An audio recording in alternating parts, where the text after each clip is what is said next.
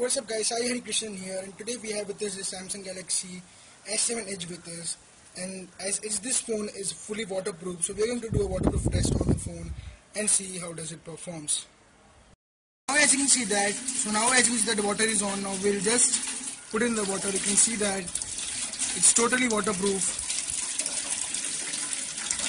Nothing is happening, you can see that still it, we are able to use it perfectly.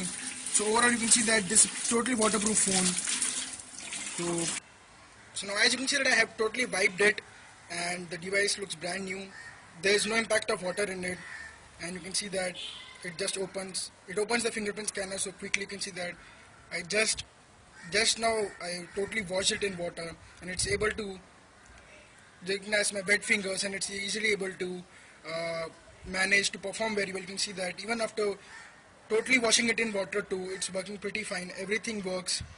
So this is that uh, the Galaxy S7 is fully waterproof and you can take it to swimming too. Just kidding. You can just use it as a waterproof phone in your rainy days and anytime you can keep it in your pocket and nothing will happen to it. So I will be coming up, up with more tests of Samsung Galaxy S7 Edge to prove that it is the ultimate flagship phone for 2016 till next till next time this is your host and those Sai Hari Krishnan signing off and I will get you guys soon, my next one. Till then, peace. You.